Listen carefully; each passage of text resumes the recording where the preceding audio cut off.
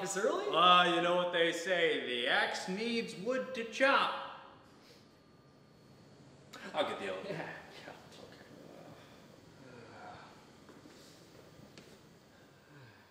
Do you think everyone's gonna be in the office today? I sure hope so. I sure hope everyone's at their desk. Yeah, yeah. No sick days today. No sick days. You know, Steve, it occurs to me you have your hand behind your back. Guess I could say the same about you, Bill. Oh, you got me. You got me. But uh, just for the sake of curiosity, why don't we reveal what's behind our backs at the count of three? How's that? Sounds good to me. Okay. Yeah, yeah, yeah. One, two, three. Ah! it's a gun! What? You, You were were gonna, gonna shoot up the office? That's, crazy. You're crazy.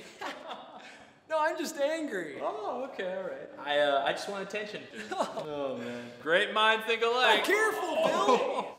Wait till after. After end game. Oh God. Hey, Bill. Mm-hmm. I just thought of something. We both can't shoot up the office. Why is that? If we shoot up the office together, they'll think we're Oh, gay. no. They'll think we're ISIS. Oh, yeah, that's just as bad. Here's an idea.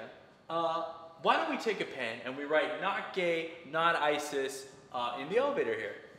Okay, yeah, that's why you're the director of marketing, Bill. Oh, yeah, yeah. Here, can you hold my gun? yeah, sure, no problem. All right. Uh, oh, I don't have a pen on me. Oh, you know what? I think I have a pen in my pocket. Oh, perfect. All right. Uh, oh man, you got some, you got some deep pockets. Here. Yeah, it's all right.